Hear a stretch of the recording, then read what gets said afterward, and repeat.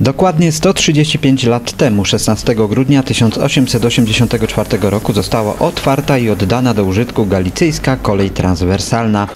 Budowana była jako przedsięwzięcie o strategicznym znaczeniu wojskowym. Jak się później okazało, otworzyła nasz region na świat. Najpiękniejszy pod względem widokowym i krajobrazowym jest jej odcinek z Chabówki do Nowego Sącza. Popularna linia 104 jak na razie jest wykorzystywana do przejazdów zabytkowego pociągu retro. Chciałam pokazać Kubusiowi, mojemu synkowi, jak fajnie można jeździć starym pociągiem, jak jest ciuchcia, jak jest e, dym.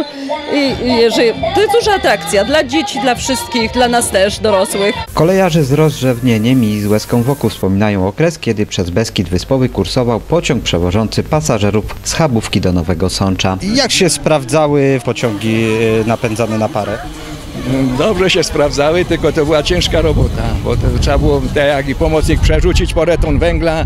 Przyszła zima, to to marzło wszystko, żeby, żeby tego nie zamarzły, by takie smoczki, nazywały się aparaty, co ciągły wodę z tego tędra, żeby to nie zamarzło, żeby tego, także to było roboty, była ciężka praca. To tutaj na stacji kolejowej w Dobrej od kilku lat odbywa się piknik kolejowy. Najpierw wydarzenie to jako swego rodzaju protest. Song miało na celu uratowanie linii przed likwidacją. Stało się zachętą i inspiracją do forsowania projektu budowy nowego połączenia kolejowego, potocznie zwanego z Podłęża do Piekiełka. tym bawieniem, śpiewem mamy nadzieję, że ten głos tego śpiewu dotrze do Warszawy i odpowiedni ministrowie podejmą tą decyzję o budowie tej nowej linii i wyremontowaniu tej starej. I stało się ono faktem. Być może w niedługim czasie przejazd zabytkowym pociągiem retro będzie tylko miłym dodatkiem do oferty turystycznej, a regularnie kursujące pociągi jadące z prędkością ponad 120 km na godzinę, tak jak 135 lat temu, otworzą nasz region na świat. Ta inwestycja jest e, ważna z punktu widzenia gospodarczego, z punktu widzenia społecznego, z punktu widzenia gospodarczego. W tym regionie tkwi olbrzymi potencjał gospodarczy. On nie jest e, e, obudzony. On nie jest obudzony dlaczego? Bo trudności komunikacyjne wielu zniechęcają, żeby na co dzień skorzystać z dobrodziejstw e, tegoż regionu. Limanowszczyzny, jak pani powiedziała, Podhala, Sądecczyzny. Ten rok był bardzo istotny dla realizacji projektu linii kolejowej z Podłęża do Szczyżyca, tym barku w kierunku Mszany Dolnej. Projektanci inwestycji odbyli ponad 20 spotkań o charakterze informacyjnym z mieszkańcami regionu. Projekt pokaże oczywiście szczegóły, bo czasami zbliżamy się do jakiejś działki.